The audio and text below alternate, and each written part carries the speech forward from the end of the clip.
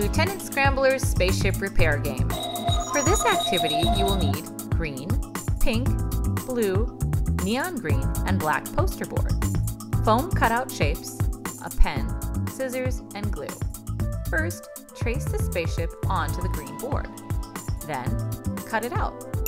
Remember to also cut out the window and place blue poster board underneath it. Next, cut out the spaceship decals and glue all of these pieces down onto the pink poster board.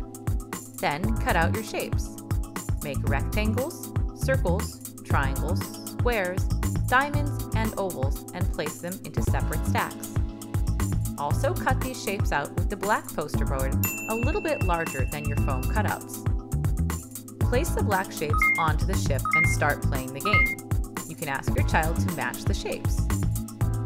Math concepts you can help your child learn in this activity are recognizing a circle, square, rectangle, triangle, oval, and diamond. Get creative. Zorbit's Math Adventure. Learning reimagined.